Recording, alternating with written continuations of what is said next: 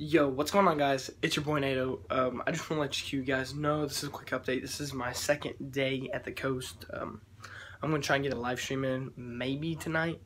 Uh, that's just because it depends on what my internet's like tonight. So, uh, or I might not even stream. I don't know yet. But uh, I'll be back home, not in Oklahoma, but back in uh, the regular town that I live in, in Bend, Oregon.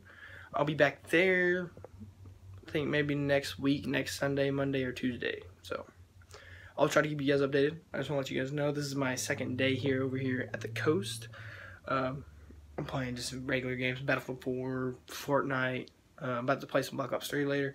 Um, I'm gonna get Black Ops 4 and I'm gonna get Battlefield 5. So I'm really excited for those.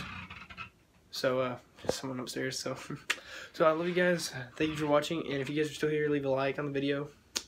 Uh, yeah, I'm gonna try to keep uh keep you guys up to date, and I'll talk to you guys later. Peace.